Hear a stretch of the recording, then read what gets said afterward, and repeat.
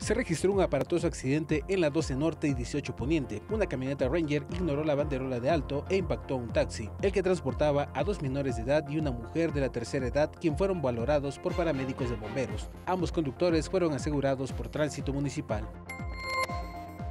Agentes de la Secretaría de Seguridad Pública detuvieron a Guillermo N., segundo al mando del grupo delictivo que encabeza un hombre apodado El Japo, dedicado a delitos de alto impacto en este municipio, tales como narcomenudeo, extorsión y robo a transporte de carga, los cuales fueron asegurados en la carretera estatal Tehuacán-Teotitlán en el tramo correspondiente a la Junta Auxiliar de San Diego Chalma. Los detenidos fueron identificados como Francisco Javier H., alias El Pancho, y Guillermo C., identificado como el hermano de Carlos Alberto C., alias El Japo líder de un grupo delictivo dedicado a la comisión de diversos delitos en la región de Tehuacán. Se les encontraron 50 bolsas de polvo blanco con características propias de la droga.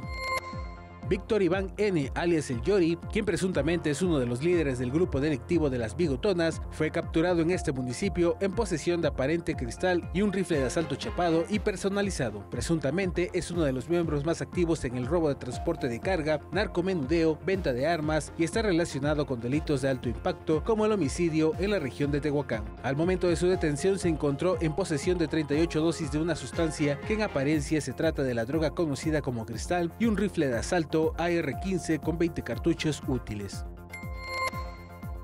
Elementos de seguridad pública de Tehuacán lograron asegurar a un sujeto el cual es apodado como el Huicho, quien pertenece a la banda delictiva conocida como los del barrio o los Tehuantepec, los cuales se dedican al robo de transporte de carga, narcomenudista y robo a cuentavientes. Al sujeto lo han relacionado con varios asaltos a transportistas en la zona de Cuacnopalan, Oaxaca. Al momento de su detención, portaba 55 dosis de sustancia conocida como cristal. Tras su detención fue entregado a autoridades de la Fiscalía General del Estado.